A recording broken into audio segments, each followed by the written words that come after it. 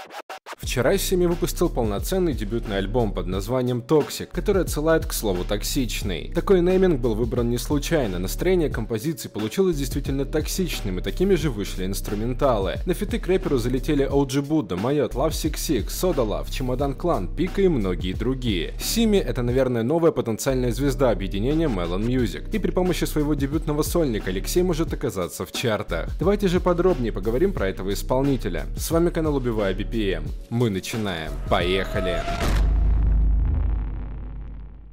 Алексей Семенюк родился в Тюмени. О родителях звезды ничего не известно. Будущий музыкант с детства любил слушать рэп. Позднее он пробовал другие музыкальные направления, но всегда возвращался к хип-хоп культуре. Как говорит сам Алексей, он был своим в любой тусовке, общался с неформалами, с рэперами, со спортсменами. По словам исполнителя, он вырос на треках Касты, Капы и Картель, АК-47, АУ-74, Д Чемодан Клан. В подростковом возрасте Леша начал пробовать сочинять музыку, знакомился с другими молодыми рэп-исполнителями. Вот что говорил про свое детство Симе в интервью для The Flow. Я рос на районе Зарека, классический гетто-райончик с разными национальностями и конфликтами. Был представителем двух миров, вроде с нефорами тусил, но и с уличными пацанами на тренировке гонял. Был с футбольными фанатами. Весил 53 килограмма, а тут бабах и 80 кг. Соточку от груди жал, при этом топил за рыбак и на студийке ездил. Меня считали нефором, но все равно любили в обеих компаниях. Тогда еще и нета нормального не было. Мой одноклассник Дима Калаш принес флешку, а на ней по папочкам рассортированной дискографии Баста Раймс, ODB и Method Man. Для меня открылся ящик ящик Пандоры. В 12 лет я уже шарил за Оникс и Wu Tang, смотрел по телеку клипы Эминема и 50 Цента. Сейчас мне 25. Я постарше остальных наших пацанов из Melon Music. Раньше я был закоренелым олдскульщиком, отказывался слушать Асапа Роки, потому что у него знак доллара в никнейме. С Ромой 163 on my neck семья объединила общее увлечение граффити. Потом на домашней звукозаписывающей студии он впервые встретил рэпера Майота. Так собрался своеобразный творческий союз начинающих музыкантов. В 2017 году Семенюк и другие рэперы из Тюмени создали тусовку Melon Music. Именно в этот момент Алексей взял себе псевдоним Сими. Он происходит от начальных слогов его фамилии. Со временем парни решили покорять столицу. Перебравшись в Москву, они открыли собственную музыкальную студию и назвали ее в честь Лил Мелона, ныне покойного рэпера Даниила Царева, на студию которого записывались в Тюмени первые треки будущих участников объединения. В Москве музыканты живут и работают вместе, как одна семья. Как признаются сами рэперы, Melon Music это больше, чем творчество и музыка, это настоящее братство, где все поддерживают друг друга, все отношения отношения держатся на добре, дружбе и взаимопонимании. Про Лил Мелона говорят практически все участники Melon Music. Он в каком-то смысле стал крестным отцом их объединения, а его смерть повлияла абсолютно на всех участников. Вот что про это говорил OG Будда на шоу «Вписка».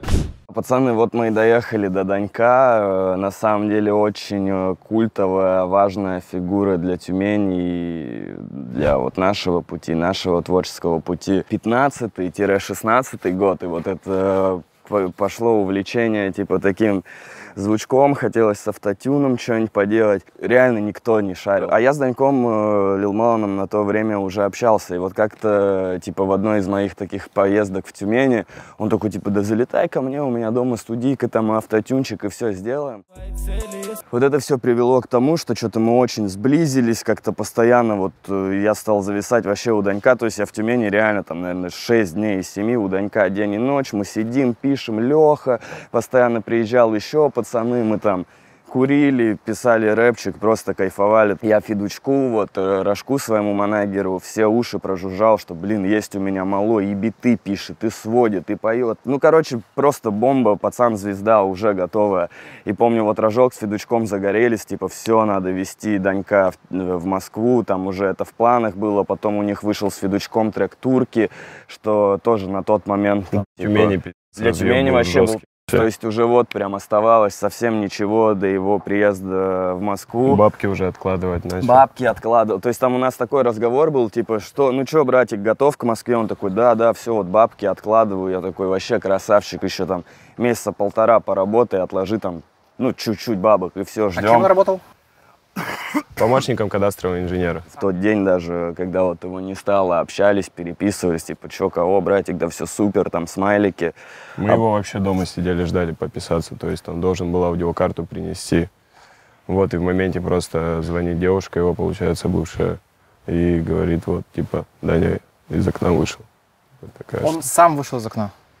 Там, если честно, не до конца, непонятно, да, понятно, да, как-то, типа, да. нас так как-то всех разъебали И очень жестко по нам ударило, что вот пацаны прям очень плотно взялись за работу и такие, так, надо что-то менять. И все это объединилось вокруг имени Данька, во имя Данька, вот что Melon Music. И, то есть, бы, то есть... Вот он на самом деле всем этим движет. И... Панчи тебе подсказывает, да? Вроде.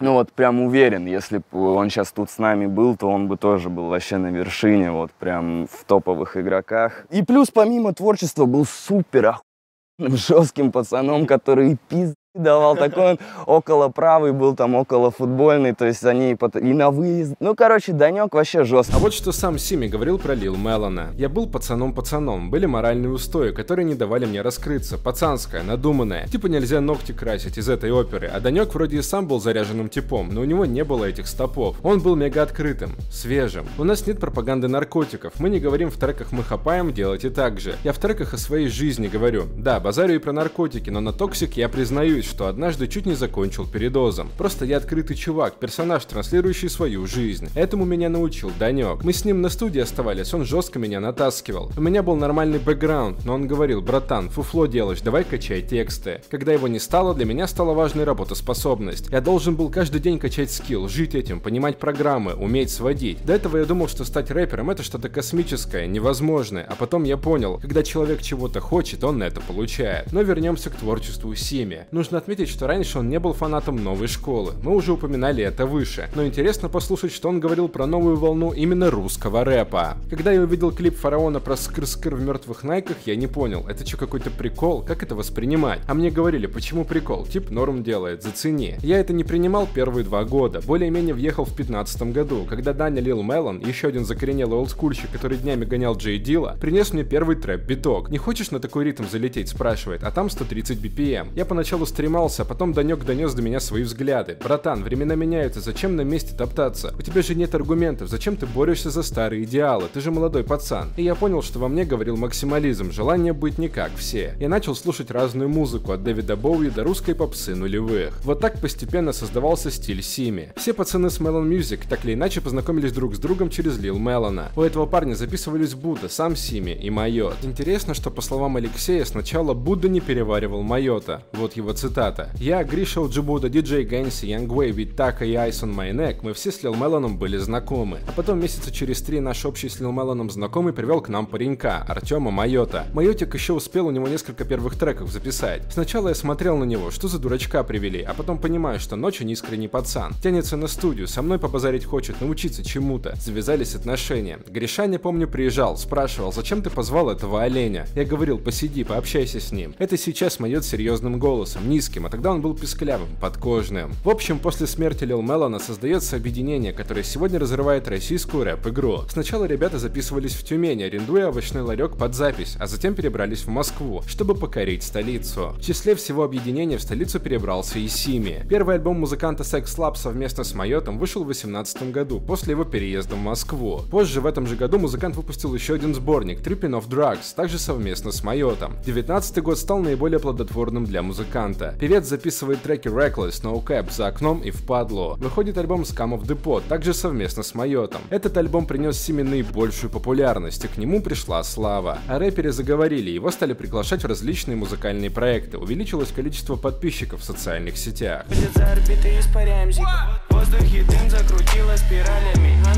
В 2020 году Сими продолжает записывать композиции с Майотом. Также сотрудничает с Джаба, Love Six Six и другими рэперами. Выходит совместный с Young Wayne альбом Magic.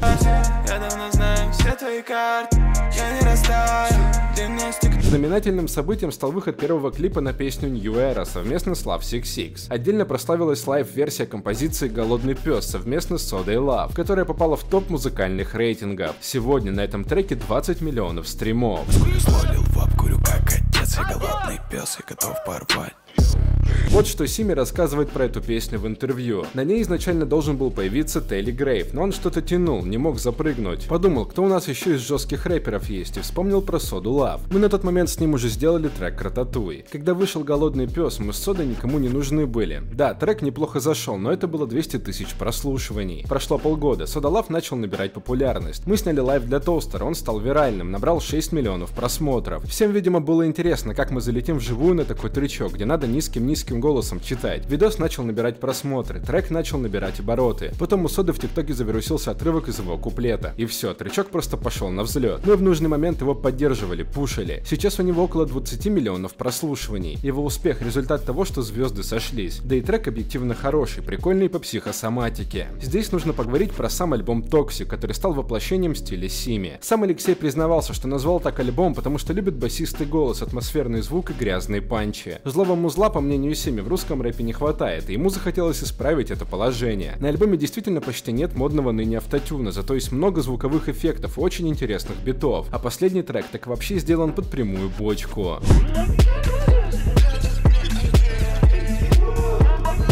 Необычным стало еще и то, что на фитах появились представители отечественного олдскула. Пика, Брик Базука и Чемодан Клан. Такого никто не ожидал от представителя новой школы. Вот что сам Алексей говорит про эти совместки. Пика, Луи и Брик Базука это чуваки, сформировавшие мой стиль. Toxic это про Чемодан Клан. Toxic это про первые альбомы Пики, то, что было до Патимейкера. Подумал, что круто, когда пацан зовет на альбом людей, на которых рос. И ничего, что он младше их почти на 10 лет. С Пика меня сконнектил Ванек Love Six Six. Они в Ростове познакомились. Пика мне кидал респекты после релиза Magic. Он выкладывал выкладывал его в сторис, я его поблагодарил, написал «Бро, ты легенда». С Базука я познакомился в Питере, он пригнал на один из наших движей. Я поблагодарил его, сказал, как много его музло значит для меня. Луи позвал нас на выступление в Москве, я скинул им демки, сказал «Залетайте на альбом». Буквально недельку назад они приехали на наш трэп-хаус, у меня в комнате стоит студия, там все и сделали. Я за это чувствую вину, это мой flow. Записываю грязь, долблю, Есть на этом релизе трек под Boom Bap Beat, который также явно отсылает нас к старой школе. Это песня под названием 12 15 лет назад.